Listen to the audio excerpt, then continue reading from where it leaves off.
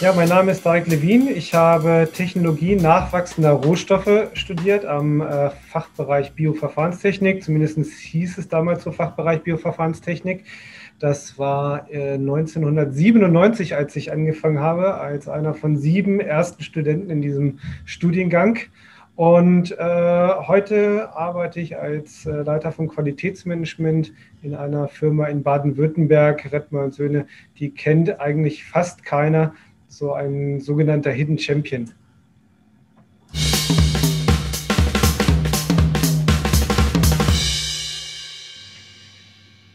Eines Morgens am Samstag habe ich die HRZ aufgeschlagen und es gab einen so großen Artikel, dass der äh, Fachbereich Bioverfahrenstechnik einen neuen Studiengang nachwachsende Rohstoffe zum Wintersemester startet.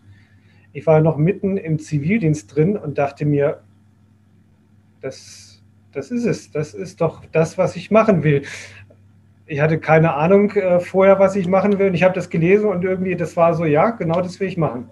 Dann äh, bin ich zur Studienberatung hingefahren, habe mir das alles erzählen lassen und habe daraufhin meinen Zivildienst unterbrochen, ein Vorpraktikum hingeschmissen und im September angefangen zu studieren. Das Grundstudium war mit den Milchwirtschaftlern zusammen, Physik, Chemie, die ganzen äh, Grundstudienfächer. Und äh, zeitgleich haben wir Vorlesungen gehabt, die daraus bestanden, dass sich äh, verschiedene äh, Bewerber auf die Professorenstelle mit einer Probevorlesung quasi vorgestellt haben. Das heißt, ein Teil unseres Studiums war eine Probevorlesung. Irgendwann haben wir dann äh, Professoren bekommen und ähm, ja, Schwerpunkte in dem Sinne gab es noch nicht, weil die mussten mit uns zusammen eigentlich dieses Studium dann irgendwo vielleicht auch entwickeln, weil ähm, es gab die Studienfächer vorher nicht, die waren da genauso wie wir zum ersten Mal und äh, so war das alles ein bisschen wilde Zeit.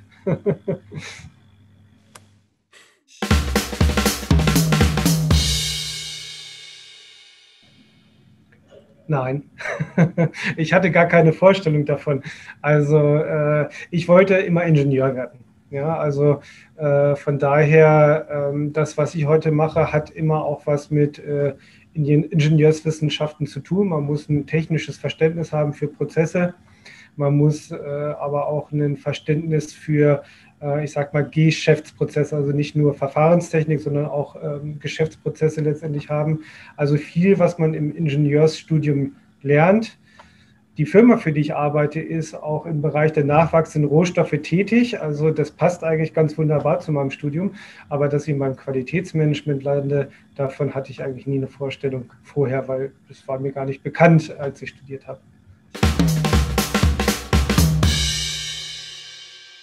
Ich habe angefangen in der Forschung und Entwicklung. Äh, tatsächlich habe ich mich dort mit der Mikroverkapselung von probiotischen Bakterien beschäftigt. Äh, ganz praktisch war, dass ich ja im Fachbereich Bioverfahrenstechnik studiert habe, wo es noch die milchwirtschaftliche Lebensmitteltechnologie gab. Das heißt, ich konnte quasi vom anderen Studiengang äh, die eine oder andere Information für dieses Forschung- und Entwicklungsprojekt in der Firma letztendlich verwenden, interdisziplinär. Und dann hat sich es eigentlich ergeben, dass in der Firma der Bedarf war äh, im Qualitätsmanagement, dass jemand ein bisschen hilft und aus ein bisschen helfen ist dann über die Jahre letztendlich äh, die Leitung des ganzen Bereichs geworden, über mehrere Stufen letztendlich, ja, bis ich äh, dann da gelandet bin, wo ich heute bin.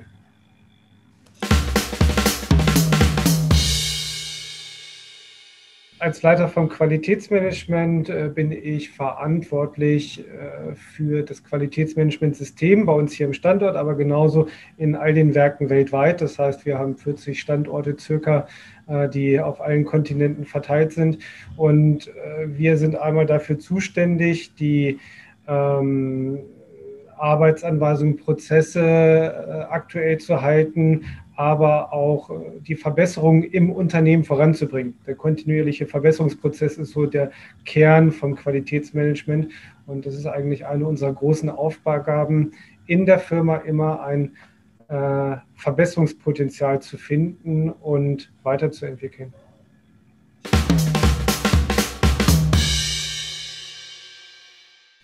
Also wir haben ein internationales Team äh, in jedem Werk, in dem wir pharmazeutische Produkte, Lebensmittel, Futtermittel, Kosmetika herstellen, haben wir lokale Quality Units.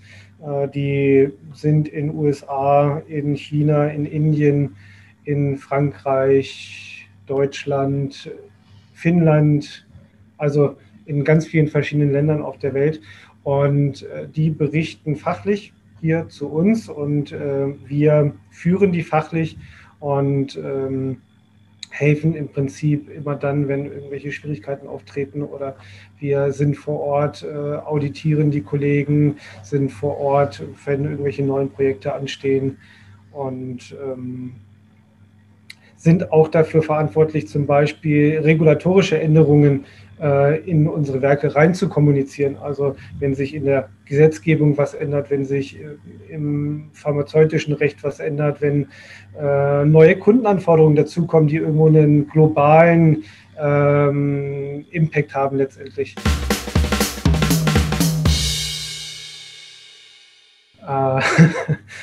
Also ich kann nicht empfehlen, in Indien eine thailändische Suppe zu essen, denn ich sage mal so, wenn der Inder äh, sich vorstellt, dass thailändisches Essen scharf sein muss, dann ist es für einen Europäer nicht mehr aushaltbar.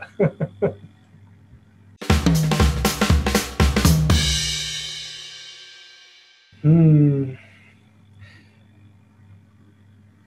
Man glaubt gar nicht, was vielleicht alles später mal wichtig oder nicht wichtig sein kann. also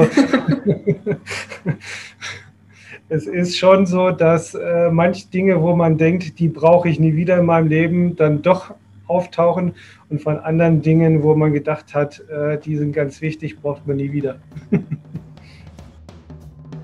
dass du dir die Zeit genommen hast für das Gespräch. Ich fand es super spannend. Dann sage ich auch vielen Dank für das Interview und äh, ich wünsche mir, dass wir uns vielleicht alle persönlich dieses Jahr oder die nächsten Jahre wiedersehen können und dass alle hoffentlich gesund bleiben und bis bald.